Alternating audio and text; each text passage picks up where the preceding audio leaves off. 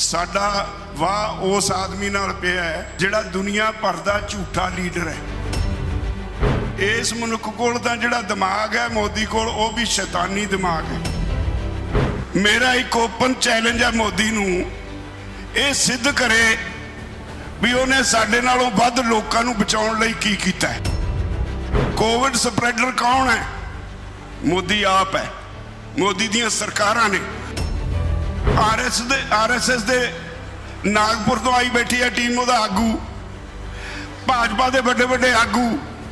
ਉਹਨਾਂ ਨੂੰ ਫਿਕਰ ਪਿਆ ਵੀ ਇਸ ਅੰਦੋਲਨ ਨੇ ਸਾਡੀ ਜੜਾਂ ਹੇਠੋਂ ਜ਼ਮੀਨ ਖਸਕਾ ਦਿੱਤੀ।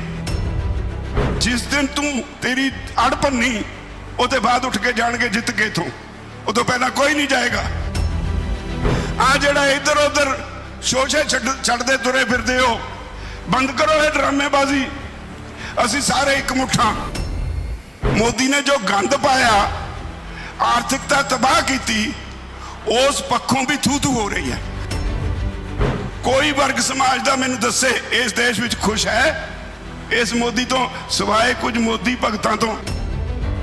ਮੋਦੀ ਸ਼ਾਹ ਦੀ ਜੋੜੀ ਨੂੰ ਕੇਂਦਰ 'ਚ ਜਿੰਨੇ ਵੀ ਮੰਤਰੀ ਨੇ, ਕਿਸੇ ਦੇ ਪੱਲੇ ਕੱਖ ਨਹੀਂ।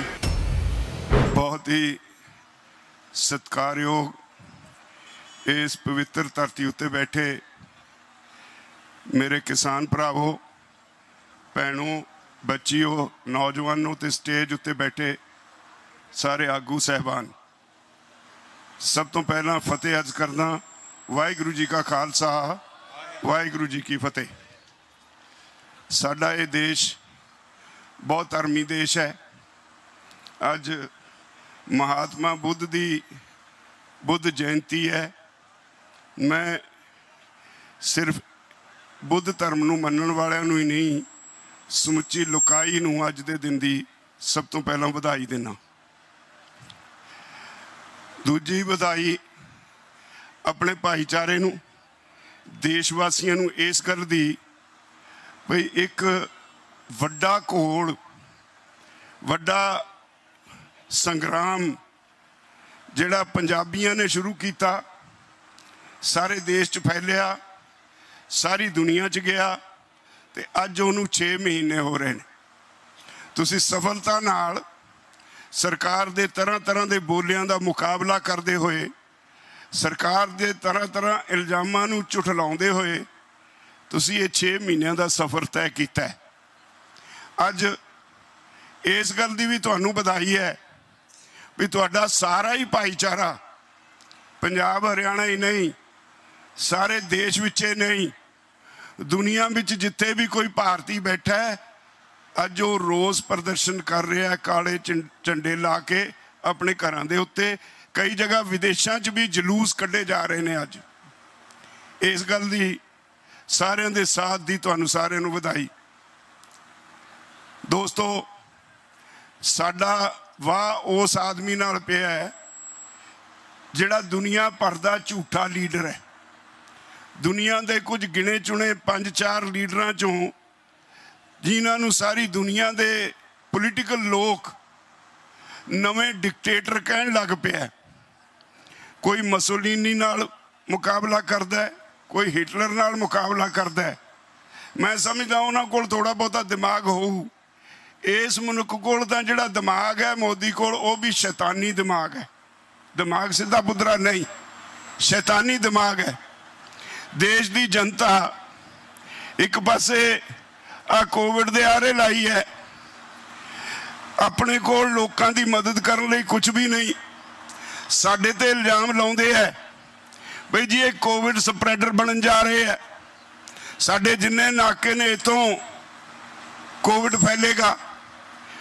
ਮੇਰਾ ਇੱਕ ਓਪਨ ਚੈਲੰਜ ਹੈ ਮੋਦੀ ਨੂੰ।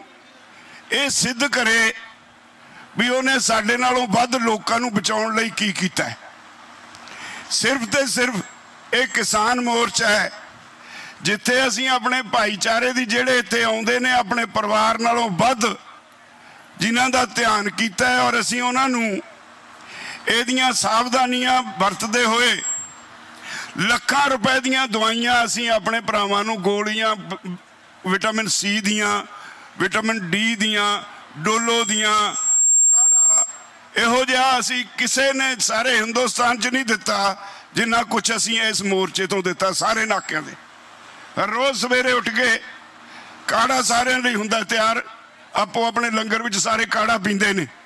ਔਰ ਸਾਰਿਆਂ ਨੂੰ ਬਾਰ-ਬਾਰ ਕਿਹਾ ਵੀ ਭਾਈ ਬਾਰ-ਬਾਰ ਗਰਮ ਪਾਣੀ ਪੀਓ, ਠੰਡੀਆਂ ਚੀਜ਼ਾਂ ਨਾ ਖਾਓ। ਕਦ ਦੱਸ ਸਕਦਾ ਮੋਦੀ ਆ ਉਹਦਾ ਕੋਈ ਭਗਤ?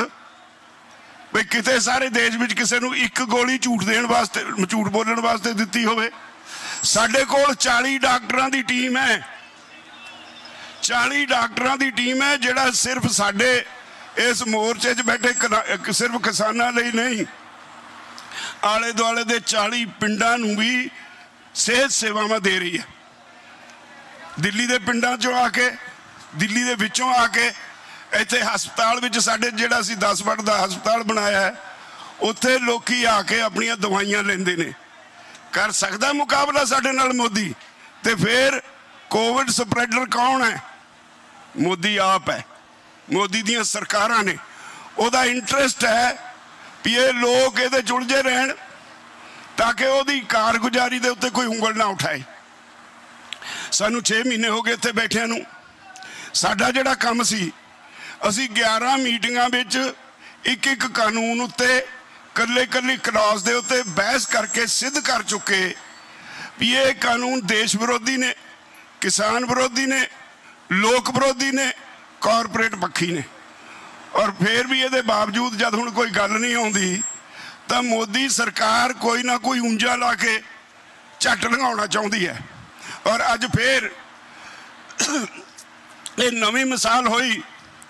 ਅਸੀਂ ਨਹੀਂ ਕਿਹਾ ਆਪ ਮੁਹਾਰੇ ਜਿੰਨੀਆਂ ਦੇਸ਼ ਦੀਆਂ ਪੋਲੀਟੀਕਲ ਪਾਰਟੀਆਂ ਨੇ ਮੋਦੀ ਤੋਂ ਬਾਹਰ, ਮੋਦੀ ਦੇ ਐਨਡੀਏ ਦੀਆਂ ਭਾਈਵਾਲ ਪਾਰਟੀਆਂ ਤੋਂ ਬਿਨਾ ਸਮੁੱਚੀਆਂ ਪਾਰਟੀਆਂ ਨੇ ਅੱਜ ਕਾਲਾ ਦਿਨ ਮਨਾਉਣ ਦੀ ਸਾਰੇ ਦੇਸ਼ ਵਿੱਚ ਕਾਲ ਦਿੱਤੀ ਹੈ।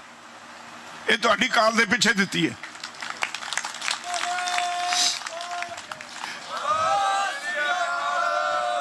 ਇਹ ਉਹੀ ਮੋਦੀ ਹੈ। ਕਹਿੰਦੇ ਸੀ ਬੜਾ ਵੱਡਾ ਲੀਡਰ ਬਣ ਗਿਆ ਜੀ। ਇਹਦੀ ਲੋਕਪ੍ਰਿਯਤਾ ਲੋਕਪ੍ਰਿਯਤਾ ਬਹੁਤ ਹੋ ਗਈ। ਅੱਜ ਜਿਹੜਾ ਨਵਾਂ ਸਰਵੇ ਹੋਇਆ, ਉਹਦੇ ਚ ਕਹਿੰਦੇ ਨੇ ਇਹਦੀ ਲੋਕਪ੍ਰਿਯਤਾ ਘਟ ਕੇ 37% ਰਹਿ ਗਈ। 63% ਉੱਡ ਗਈ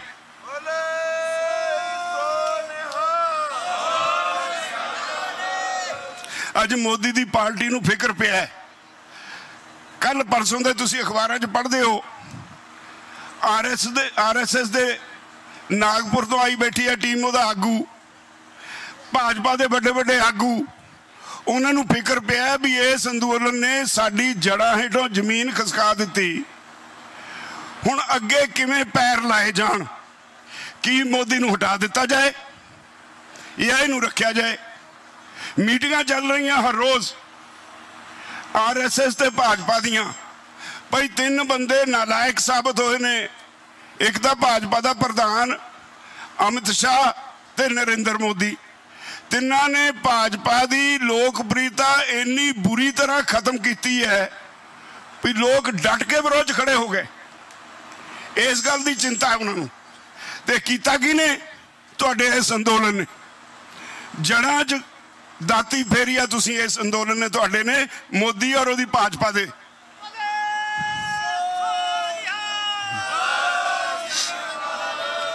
ਹਰ ਰੋਜ਼ ਲਿਚ ਗੜਚੀਆਂ ਕਰਦੇ ਤੁਰੇ ਫਿਰੀ ਜਾਂਦੇ ਨੇ। ਸਾਡੇ ਸਾਰੇ ਆਗੂਆਂ ਨੂੰ ਕੋਈ ਕਿਸੇ ਪਾਸਿਓਂ ਅਪਰੋਚ ਕਰਦਾ, ਕੋਈ ਕਿਸੇ ਪਾਸਿਓਂ ਅਪਰੋਚ ਕਰਦਾ। ਉਹ ਭਾਈ ਐਦਾਂ ਨਹੀਂ ਗੱਲ ਬਣਨੀ। ਸਿੱਧੇ ਹੋ ਕੇ ਆਓ। ਕੱਲੇ ਕੱਲੇ ਨੂੰ ਕਹਿੰਦੇ ਫਿਰਦੇ ਹੋ। ਸਮਝੌਤਾ ਕਰ ਲਈਏ, ਸਮਝੌਤਾ ਕਰ ਲਈਏ, ਸਮਝੌਤਾ ਕਰ ਲਈਏ। ਅਸੀਂ ਤਾਂ ਦਸੀਆਂ ਹੋਈਆਂ ਸ਼ਰਤਾਂ। ਵਾਪਸ ਲੈ ਲਓ ਕਾਨੂੰਨ। ਬਣਾ ਦਿਓ ਐਮਐਸਪੀ ਦਾ ਕਾਨੂੰਨ। ਸਮਝੌਤਾ ਹੋ ਗਿਆ। ਅਸੀਂ ਕੋਈ ਪੋਲੀਟੀਕਲ ਪਾਰਟੀ ਦਾ ਹਾਂ ਨਹੀਂ। ਅਸੀਂ ਕਿਸਾਨ ਹਾਂ। ਜੇ ਕਿਸਾਨ ਨੂੰ ਸਤਾਓਗੇ ਤਾਂ ਇੱਕ ਗੱਲ ਯਾਦ ਰੱਖੋ, ਅੱਜ ਦੀ ਦੁਨੀਆ ਵਿੱਚ ਮੈਂ ਇਸ ਗੱਲ ਦਾ ਧਾਰਨੀ ਹਾਂ, ਸਿਰਫ ਤੇ ਸਿਰਫ ਕਿਸਾਨ ਹੈ ਜਿਹੜਾ ਦਸਾਂ ਨੌਹਾਂ ਦੀ ਕਿਰਤ ਵਿੱਚੋਂ ਆਪਣਾ ਜੀਵਨ ਲੰਘਾਉਂਦਾ ਔਰ ਆਪਣੇ ਬੱਚਿਆਂ ਨੂੰ ਪਾਲਦਾ ਹੈ। ਹਰ ਕਿੱਤੇ ਵਿੱਚ ਕਿਤੇ ਨਾ ਕਿਤੇ ਖੋਟ ਹੈ ਕਰਪਸ਼ਨ ਹੈ, ਬੇਈਮਾਨੀ ਹੈ। ਤੁਹਾਡੇ ਕਿੱਤੇ ਵਿੱਚ ਸੌ ਖਾਣ ਨੂੰ ਇੱਕ ਧੇਲੇ ਦੀ ਬੇਈਮਾਨੀ ਨਹੀਂ। ਤੁਸੀਂ ਆਪਣਾ ਖੇਤ ਵਾਹੁੰਦੇ ਜੇ ਥੋੜਾ ਜਿਹਾ ਹਲ ਦਾ ਇੱਕ ਸਿਆੜ ਦੂਜੇ ਪਾਸੇ ਚੱਕ ਦਿਓ ਗੁਆਂਢੀ ਦੇ, ਜਿੰਨੀ ਮਰਜ਼ੀ ਲਿਹਾਜ਼ ਹੋਵੇ, ਉੱਥੇ ਡਾਂਗ ਖੜਕ ਜਾਂਦੀ ਹੈ। ਤੁਸੀਂ ਆਪਣੇ ਖੇਤ ਵਿੱਚੋਂ ਹੀ ਆਪਣੀ ਮਿਹਨਤ ਨਾਲ ਪੈਦਾ ਕਰਕੇ ਆਪਣਾ ਪਰਿਵਾਰ ਪਾਲਦੇ ਹੋ ਔਰ ਆਪਣੇ ਬੱਚਿਆਂ ਨੂੰ ਖਾਣ ਪੀਣ ਨੂੰ ਦਿੰਦੇ ਹੋ। ਜਿਹੜੀ ਇੰਨੀ ਇਮਾਨਦਾਰੀ ਦੀ ਕਮਾਈ ਖਾਣ ਵਾਲੇ ਲੋਕ ਨੇ, ਉਹਨਾਂ ਦਾ ਕੈਰੈਕਟਰ ਵੀ ਉੱਚਾ ਹੁੰਦਾ ਉਹ ਲੋਕ ਮਾਨਸਿਕ ਤੌਰ ਤੇ ਵੀ ਤਕੜੇ ਹੁੰਦੇ ਨੇ, ਉਹ ਲੋਕ ਕਿਸੇ ਤੋਂ ਡਰਦੇ ਵੀ ਨਹੀਂ ਹੁੰਦੇ। ਤੋ ਇਹੋ ਜਿਹੇ ਲੋਕਾਂ ਨਾਲ ਮੱਥਾ ਲਾਇਆ। ਹੋਣਗੇ ਤੇਰੇ ਭਗਤ। ਪਰ ਆ ਲੋਕ ਜਿਸ ਦਿਨ ਤੂੰ ਤੇਰੀ ਅੜ ਭੰਨੀ ਉਹਦੇ ਬਾਅਦ ਉੱਠ ਕੇ ਜਾਣਗੇ ਜਿੱਤ ਕੇ ਇਥੋਂ। ਉਹ ਤੋਂ ਪਹਿਲਾਂ ਕੋਈ ਨਹੀਂ ਜਾਏਗਾ। ਮੈਂ ਸਾਫ਼ ਕਰ ਦੇਣਾ ਚਾਹੁੰਦਾ। ਆ ਜਿਹੜਾ ਇੱਧਰ ਉੱਧਰ ਸ਼ੋਸ਼ੇ ਛੱਡ ਛੱਡਦੇ ਤੁਰੇ ਫਿਰਦੇ ਹੋ, ਬੰਦ ਕਰੋ ਇਹ ਡਰਾਮੇਬਾਜ਼ੀ। ਅਸੀਂ ਸਾਰੇ ਇੱਕ ਮੁੱਠਾਂ ਸਾਡੀਆਂ ਜਥੇਬੰਦੀਆਂ ਵਿੱਚ ਕੋਈ ਮਤਭੇਦ ਨਹੀਂ। ਸਾਡੀਆਂ ਜਥੇਬੰਦੀਆਂ ਵਿੱਚ ਜੋ ਕੋਈ ਗੱਲ ਹੈ, ਅਸੀਂ ਆਪੋ ਵਿੱਚ ਹੀ ਡਿਸਕਸ ਕਰਦੇ ਹਾਂ। ਤੇ ਉਹਨਾਂ ਨੂੰ ਤੁਸੀਂ ਹਵਾ ਦੇ ਦੇ ਕੇ ਇਹ ਸਾਬਤ ਕਰਨਾ ਚਾਹੁੰਦੇ ਹੋ ਵੀ ਪਤਾ ਨਹੀਂ ਸਾਡੇ 'ਚ ਕੋਈ ਮਤਭੇਦ ਹੈ? ਕਿਹੜੀ ਬੇਵਕੂਫਾਂ ਦੀ ਦੁਨੀਆ 'ਚ ਤੁਸੀਂ ਵਸਦੇ ਹੋ? ਮੋਦੀ ਜੀ, ਉਹ ਤੁਹਾਡਾ ਨਾਰਾ ਮੋਦੀ ਹੈ ਤਾਂ ਮੁਮਕਿਨ ਹੈ, ਅੱਜ ਨਹੀਂ ਉਹ ਠੀਕ ਸਾਬਤ ਹੁੰਦਾ।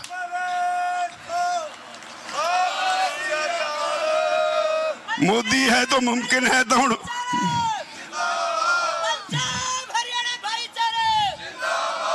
ਮੋਦੀ ਹੈ ਤਾਂ ਨਾਮੁਮਕਿਨ ਹੈ ਹੋ ਗਿਆ।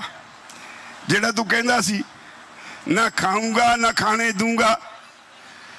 ਕੱਲ ਇਹਦਾ ਇੱਕ ਚੇਲਾ ਭੱਜਿਆ ਹੋਇਆ ਇੱਥੋਂ ਤੇ 13000 ਕਰੋੜ ਰੁਪਇਆ ਲੈ ਕੇ ਉਹ ਮੌ- ਮੌਕੁਲ ਚੌਕ ਸੀ, ਪਤਾ ਨਹੀਂ ਕੀ ਨਾਂ ਵੀ ਇਹਨਾਂ ਦੇ ਉਲਟੇ ਸਿੱਧੇ ਨੇ। ਉਹ ਕਹਿੰਦੇ ਨੇ ਇੰਗਲੈਂਡ 'ਚ ਫੜ ਲਿਆ। ਉਹਦੇ ਮਗਰ ਪੁਲਿਸ ਲੱਗੀ ਸੀ। ਇੰਗਲੈਂਡ 'ਚ ਫੜ ਲਿਆ 13000 ਕਰੋੜ ਲੈ ਕੇ ਭੱਜਿਆ। ਉੱਥੇ ਉਹ ਪ੍ਰੈਸ ਨੂੰ ਕਹਿੰਦਾ 13000 ਕਰੋੜ ਕਿਤੇ ਮੇਰੇ ਕੱਲੇ ਦੇ ਹਿੱਸੇ ਆਇਆ ਮੈਂ ਤਾਂ 32% ਲਿਆ, ਬਾਕੀ ਤਾਂ ਬੀਜੇਪੀ ਦੇ ਆਗੂ ਲੈ ਕੇ ਮੇਤੇ ਆਪੋ ਆਪਣਾ ਹਿੱਸਾ। ਨਾ ਖਾਊਂ, ਖਾਊਂਗਾ, ਨਾ ਖਾਣੇ ਦੂੰਗਾ। ਕਿੱਥੇ ਹੈ ਹੁਣ ਤੂੰ? ਉਹ ਤੇਰਾ ਬਾਪੂ ਇੱਕ ਬੜਿਆ ਹਾਲੇ। ਪਤਾ ਨਹੀਂ ਕਿੰਨੇ ਗੁਜਰਾਤੀ ਰਾਤੀ ਇਦਾਂ ਹਜ਼ਾਰਾਂ ਕਰੋੜ ਲੈ ਕੇ ਭੱਜੇ ਹੋਏ ਨੇ, ਜਦ ਕੱਲੇ ਕੱਲੇ ਨੂੰ ਇੱਥੇ ਘੜੀਸਿਆ ਨਾ ਪੁਲਿਸ ਨੇ। ਹਾਲੇ ਤਾਂ ਇੰਗਲੈਂਡ 'ਚ ਬੈਠਾ ਹੈ। ਜਿੱਦਣ ਇੱਥੇ ਆ ਕੇ ਇੱਥੇ ਦੀ ਪੁਲਿਸ ਨੇ ਡੰਡਾ ਚਾੜਿਆ, ਫਿਰ ਉਹਨੇ ਉੱਥੇ ਜੋ ਨਿਕਲਿਆ ਬਾਹਰ, ਇੱਥੇ ਆ ਕੇ ਵੀ ਮੂੰਹ ਖੋਲਣਗੇ। ਨਹੀਂ ਫਿਰ ਲੋਕ ਘੁਲਾ ਦੇਣਗੇ। ਦੇਸ਼ ਦਾ ਇੰਨਾ ਬੁਰਾ ਹਾਲ ਹੋ ਗਿਆ ਆਰਥਿਕ ਪੱਖੋਂ। ਤੁਸੀਂ ਹੈ- ਮੈਨੂੰ ਕਈ ਵਾਰੀ ਹੈਰਾਨੀ ਹੁੰਦੀ ਹੈ, ਸਾਡੇ ਦੇਸ਼ ਦੀ ਇੱਕ ਬੈਂਕ ਹੈ ਰਿਜ਼ਰਵ ਬੈਂਕ ਆਫ ਇੰਡੀਆ ਜਿਹੜੀ ਨੋਟ ਛਾਪਣ ਦਾ ਵੀ ਕੰਮ ਕਰਦੀ ਹੈ। ਜਿਹਦੇ ਆਲੇ ਦੁਆਲੇ ਸਾਰੀਆਂ ਬੈਂਕਾਂ ਉਹਦੇ ਹੁਕਮਾਂ ਦੇ ਅੰਦਰ ਚੱਲਦੀਆਂ ਨੇ। ਉਸ ਬੈਂਕ ਦੇ ਕੋਲ ਕੁਝ ਰਿਜ਼ਰਵ ਫੰਡ ਹੁੰਦੇ ਨੇ। ਅੱਜ ਤੱਕ ਕਿਸੇ ਸਰਕਾਰ ਨੇ ਰਿਜ਼ਰਵ ਫੰਡ ਨੂੰ ਹੱਥ ਤੱਕ ਨਹੀਂ ਲਾਇਆ। ਕਿਸੇ ਵੀ ਸਰਕਾਰ ਨੇ ਹੱਥ ਨਹੀਂ ਲਾਇਆ। ਜਿਹੜਾ ਵੀ ਰਿਜ਼ਰਵ ਬੈਂਕ ਦਾ ਗਵਰਨਰ ਲੱਗਦਾ, ਆਮ ਤੌਰ ਤੇ ਅਰਥ ਸ਼ਾਸਤਰੀ ਹੁੰਦਾ, ਦੁਨੀਆ ਦਾ ਮੰਨਿਆ ਚੰਨ- ਮੰਨਿਆ ਦੰਨਿਆ ਅਰਥ ਸ਼ਾਸਤਰੀ ਹੁੰਦਾ ਤੇ ਜਿਹੜੇ ਜਦੋਂ ਇਹਨੇ ਆ ਕੇ ਉਹ ਰਿਜ਼ਰਵ ਫੰਡ ਨੂੰ ਹੱਥ ਪਾਉਣਾ ਚਾਹਿਆ, ਪਹਿਲਾਂ ਸਾਡਾ ਗਵਰਨਰ ਅਸਤੀਫਾ ਦੇ ਗਿਆ। ਥੋੜੇ ਦਿਨਾਂ ਬਾਅਦ ਡਿਪਟੀ ਗਵਰਨਰ ਵੀ ਅਸਤੀਫਾ ਦੇ ਗਿਆ। ਹੁਣ ਇੱਕ ਆਈਏਐਸ ਨੂੰ ਗਵਰਨਰ ਲਾਇਆ ਔਰ ਉਹਦੇ ਰਾਹੀਂ 2 ਲੱਖ ਕੁਝ ਹਜ਼ਾਰ ਕਰੋੜ ਇੱਕ ਵਾਰੀ ਕਢਾ ਕੇ ਖਾ ਗਿਆ। ਹੁਣ 1 ਲੱਖ ਕਰੋੜ ਦੇ ਨੇੜੇ ਪਿਛਲੇ ਹਫ਼ਤੇ ਕਢਾ ਕੇ ਖਾ ਗਿਆ।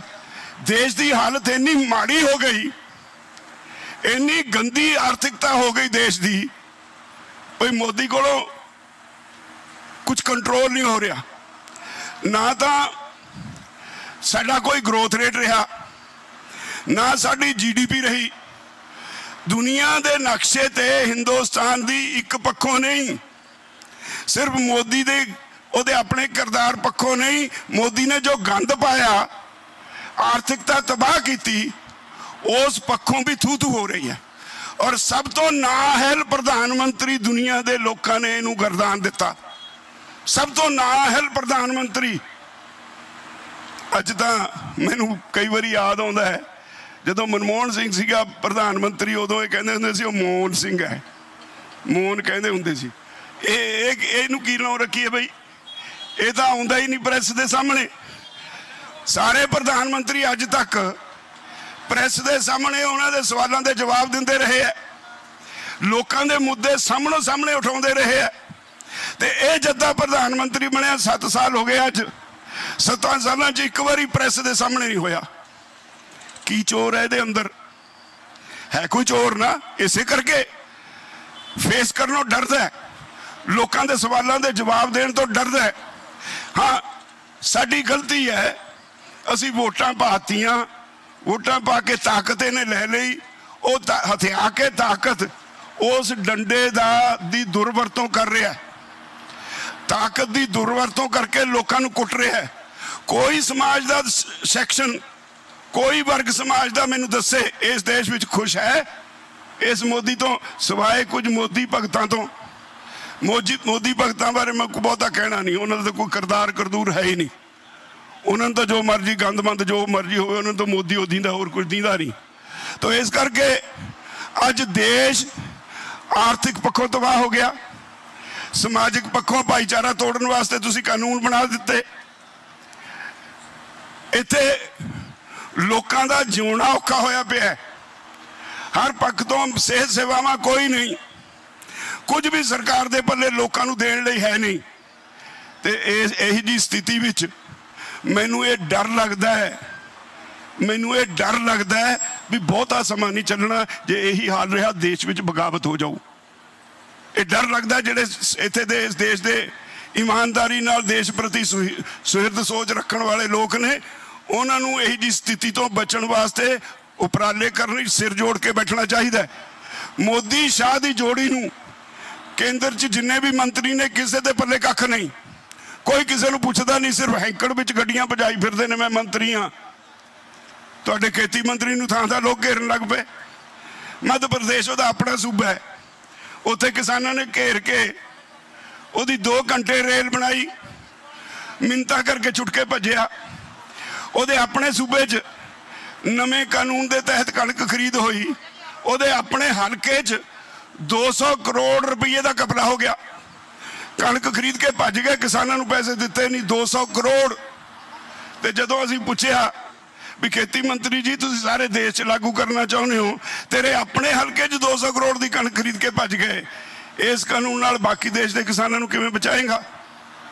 ਤਾਂ ਇਹਨਾਂ ਕੋਲ ਕੋਈ ਲੌਜੀਕ ਨਾਲ, ਕਿਸੇ ਦਲੀਲ ਨਾਲ ਕੋਈ ਜਵਾਬ ਨਹੀਂ।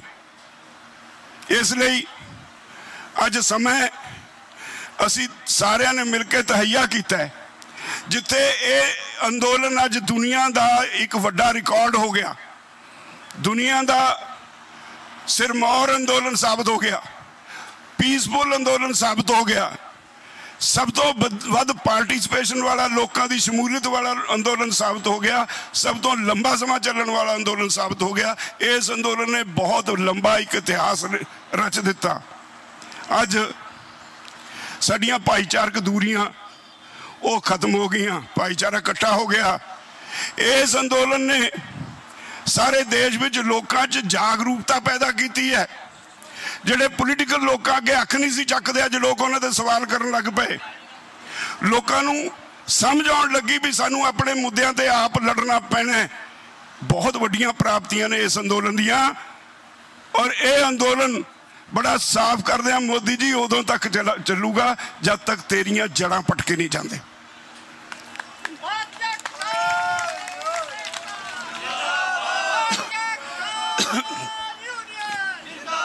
ਤੁਸੀਂ ਤੁਸੀਂ ਅੱਜ ਅੱਜ ਵਾਲਾ ਮਾਹੌਲ ਤਿੰਨ ਕੁ ਮਹੀਨੇ ਪਹਿਲਾਂ ਵੀ ਬਣਾਉਣ ਦੀ ਕੋਸ਼ਿਸ਼ ਕੀਤੀ ਸੀ। ਉਦੋਂ ਅਸੀਂ ਕਿਹਾ ਸੀ, ਜੇ ਤੁਹਾਨੂੰ ਵੋਟ ਦਿਓ, ਰਾਜਨੀਤੀ ਆਉਂਦੀ ਹੈ, ਤਾਂ ਫਿਰ ਵੋਟ ਦੀ ਚੋਟ ਵੀ ਕਰਾਂਗੇ। ਬਕਾਇਦਾ ਐਲਾਨ ਕਰਕੇ ਇਥੋਂ ਬੰਗਾਲ ਚ ਗਏ ਸੀ। ਬੰਗਾਲ ਜਿਹੜਾ ਐਂਟੀ ਮਮਤਾ ਕਰ, ਦੀ ਗ- ਹਵਾ ਚੱਲਦੀ ਸੀ ਔਰ ਉਹੀ ਬੰਗਾਲ ਜਿੱਥੇ ਮੋਦੀ ਮੋਦੀ ਹੋਣ ਲੱਗ ਪਈ ਸੀ। ਜਿਸ ਦਿਨ ਤੁਹਾਡੇ ਇੱਥੇ ਡੈਲੀਗੇਸ਼ਨਾਂ ਨੇ ਜਾ ਕੇ ਤੁਹਾਡੇ ਵੱਲੋਂ ਚਿੱਠੀ ਉੱਥੇ ਦੇ ਕਿਸਾਨਾਂ ਦੇ ਨਾਂ ਦਿੱਤੀ, ਸਾਰੀ ਹਵਾ ਬਦਲ ਗਈ ਔਰ ਉੱਥੇ ਅਸੀਂ ਮੋ- ਮੋਦੀ ਦੀ ਦਫਾ ਪਟ ਕੇ ਆ ਗਏ। ਯੂਪੀ ਚ ਯੂਪੀ ਚ ਅਸੀਂ ਹਾਲੇ ਗਏ ਨਹੀਂ। ਯੂਪੀ ਵਾਲੇ ਸਾਡੇ ਨਾਲ ਉਧਰ ਗਾਜ਼ੀਪੁਰ ਬਾਰਡਰ ਤੇ ਬੈਠੇ ਨੇ ਧਰਨੇ ਤੇ। ਉਹਦੇ ਨਾਲ ਇੱਕ ਸੁਨੇਹਾ ਚਲਾ ਗਿਆ ਯੂਪੀ ਵਿੱਚ। ਆਮ ਤੌਰ ਤੇ ਜਿਸ ਸੂਬੇ 'ਚ ਜਿਹੜੀ ਪਾਰਟੀ ਦੀ ਸਰਕਾਰ ਹੋਵੇ, ਪੰਚਾਇਤ ਚੋਣਾਂ 'ਚ ਉਸ ਸੂਬੇ ਦੀ ਪਾ- ਉਸੇ ਸੂਬੇ ਦੀ ਜਿੱਤ, ਉਸ ਪਾਰਟੀ ਦੀ ਜਿੱਤ ਹੁੰਦੀ ਹੈ ਜਿਹਦੀ ਸਰਕਾਰ ਹੁੰਦੀ ਹੈ। 3050 ਸੀਟਾਂ ਸੀ ਜ਼ਿਲ੍ਹਾ ਪਰਿਸ਼ਦ ਦੀਆਂ ਯੂਪੀ ਦੇ।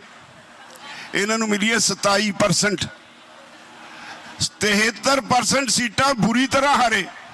ਤੇ ਮੈਨੂੰ ਬਹੁਤ ਸਾਰੇ ਪਾਸੋਂ ਇਹ ਵੀ ਪਤਾ ਲੱਗਿਆ 1100 ਕੁਝ ਸੀਟਾਂ ਤੇ ਆਜ਼ਾਦ ਜਿੱਤ ਗਏ। ਕਹਿੰਦੇ ਜਿਹੜੇ ਆਜ਼ਾਦ ਜਿੱਤੇ ਉਹਨਾਂ ਨੇ ਚੋਣ ਨਿਸ਼ਾਨ ਟਰੈਕਟਰ ਲੈ ਲਿਆ, ਨਾ ਲੈ ਤਾਂ ਸੰਯੁਕਤ ਕਿਸਾਨ ਮੋਰਚੇ ਦਾ, ਲੋਕਾਂ ਨੇ ਵੋਟਾਂ ਪਾਤੀਆਂ। ਜਿੱਤ ਗਏ। ਇਹ ਹੈ ਲੋਕਾਂ ਦੇ ਵਿੱਚ ਜਾ ਬੜੀ ਇਹ ਹਵਾ।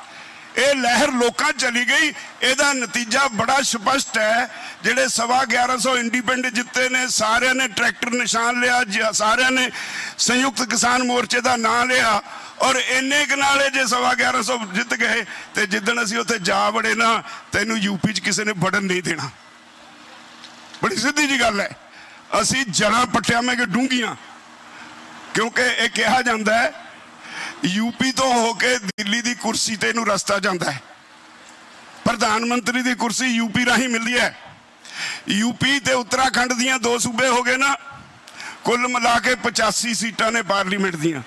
ਪੰਜਾਬ ਦੀਆਂ 13 ਨੇ, ਹਰਿਆਣੇ ਦੀਆਂ 10 ਨੇ, ਇਹਦੀ ਉਹ ਕੋਈ ਬਹੁਤੀ ਪਰਵਾਹ ਨਹੀਂ ਕਰਦੇ। ਪਰ ਜਿੱਦਣ ਯੂ- ਯੂਪੀ ਤੋਂ ਸੇਕ ਲੱਗਦਾ ਨਾ, ਫਿਰ ਨੀਂਦ ਹਰਾਮ ਹੋ ਜਾਂਦੀ ਹੈ।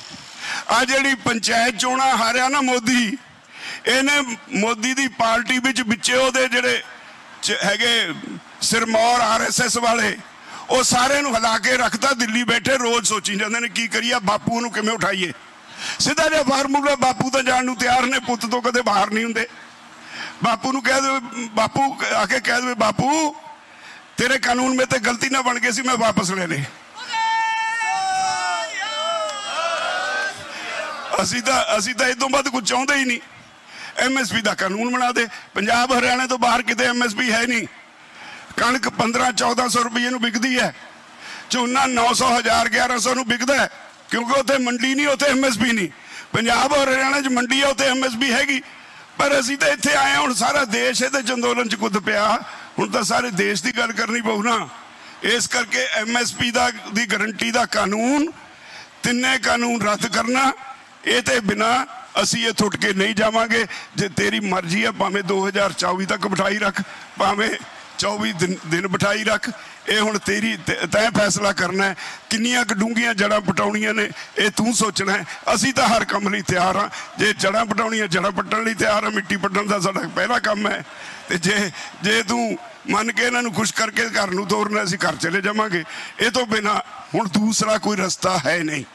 ਤੇ ਮੈਂ ਤੁਹਾਨੂੰ ਫੇਰ ਅਖੀਰ ਚ ਸਾਰਿਆਂ ਨੂੰ ਵਧਾਈ ਦਿੰਨਾ ਔਰ ਬੇਨਤੀ ਕਰਦਾ ਵੀ ਜਿਹੜੇ ਪਿੱਛੇ ਬੈਠੇ ਨੇ ਨਾ, ਹੁਣ ਉਹਨਾਂ ਨੂੰ ਕਹੋ ਵੀ ਉੱਥੇ ਬੈਠਣ ਦਾ ਸਮਾਂ ਨਹੀਂ।